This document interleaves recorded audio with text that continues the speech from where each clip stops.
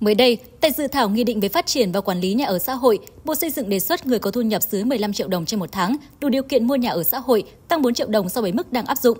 Khi nghe được thông tin này, bạn Nguyễn Thị Phương Linh ở Bắc Từ Liêm Hà Nội không khỏi vui mừng bởi theo quy định này, bạn sẽ có cơ hội tiếp cận với các dự án nhà ở xã hội.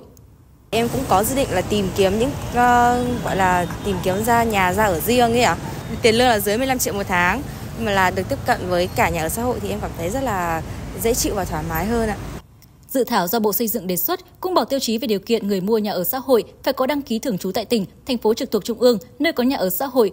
Trường hợp không có đăng ký thường trú thì phải đăng ký tạm trú từ một năm trở lên tại tỉnh, thành phố này. Theo người dân, đề xuất này đã thông thoáng hơn so với quy định hiện hành. Tuy nhiên cần quan tâm đến vấn đề quản lý để tạo công bằng cho người dân khi tiếp cận với dự án nhà ở xã hội. Lợi đầu tiên là tốt đối với những người như bọn em này. Đấy, và những người gọi là chỉ có đăng ký tạm trú tạm vắng ở Hà Nội thôi. Đấy, là cái lợi đầu tiên.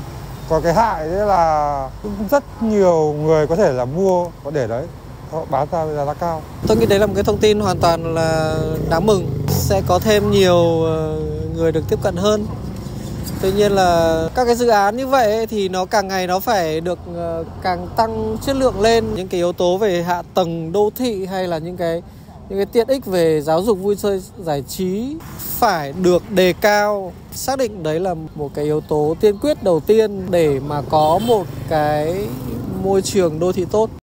Theo dự thảo nghị định về phát triển và quản lý nhà ở xã hội, quy định điều kiện được hưởng chính sách hỗ trợ về nhà ở bao gồm Trường hợp chưa có nhà ở thuộc sở hữu của mình được xác định khi đối tượng quy định tại khoản 1, điều 77 của luật nhà ở và vợ hoặc chồng của người đó chưa có tên trong giấy chứng nhận quyền sử dụng đất, quyền sử dụng nhà và tài sản khác gắn liền với đất tại tỉnh, thành phố trực thuộc trung ương nơi có dự án nhà ở xã hội đó.